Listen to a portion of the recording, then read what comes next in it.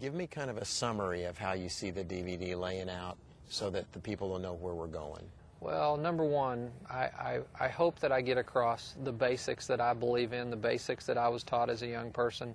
Certainly, we're going to address things as simple as the grip, mm-hmm. uh, how to set up properly, how to how to be over the ball in balance.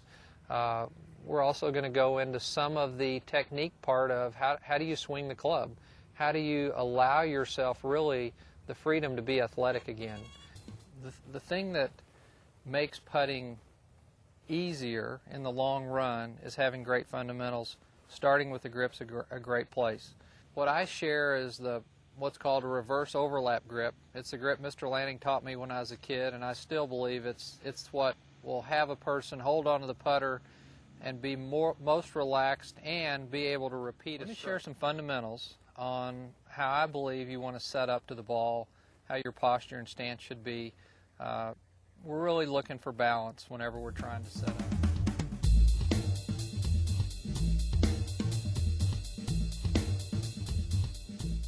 Here's a great drill for how to feel which arm is really the stronger arm or the, the arm that it, putting comes easiest to. Uh, to start with, I would want you to just hit a few putts with your right hand. So I've picked about a 20 footer just going to make a few strokes and I'm looking to let the putter head flow and have as minimal motion with my body and my arms as possible. You'll notice when I make this stroke, my shoulders really don't move hardly at all. I'm just letting the head flow with my arms.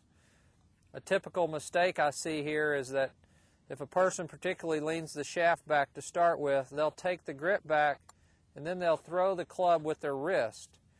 You'll notice when I make this stroke, I'm keeping my wrist angle.